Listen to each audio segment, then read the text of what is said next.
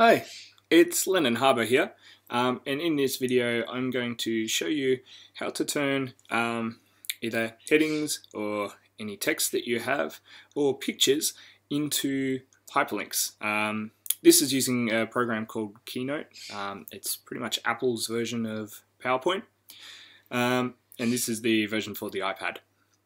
So um, I've made a quick presentation um, two slides. It's pretty pretty simple um, about cats. And I'm just going to go to my second slide. And let's say I want to turn this picture here of these lovely looking cats into uh, a link that takes us to a YouTube video. Um, so the first thing I need to do is find the link, find the, the destination rather. Um, I'm going to go out of the Keynote app and I'm going to go into my YouTube app there.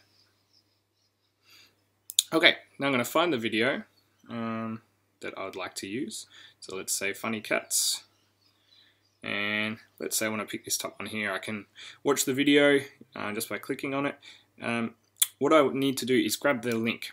So I'm going to click the three dots on the side here, right on the right hand side. And I'm going to go to share.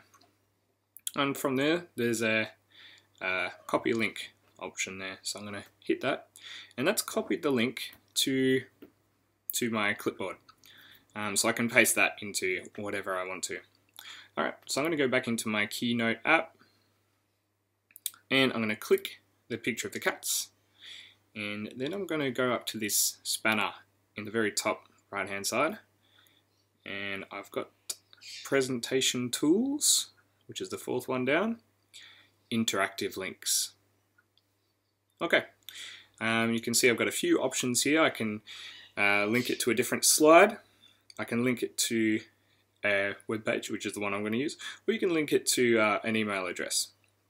So I'm going to click on the web page option down the bottom there, and I'm going to click and hold there, and paste that link in there. Okay, and now I'm going to click done right in the very top right there, and my link should be working now. So that means whoever goes into to play your presentation, um, let's go from the start. So it says cats, and we'll go to the next slide. And now when I tap on this cat picture here, it takes us to that video. Um, for some reason it doesn't want to work with my computer, but you get the gist of that. So I hope that helps you when you're putting links into into slideshows. Um, it's be pretty handy option to have, especially if you're referring to um, different videos or different songs or anything that you'd like to put into the presentation.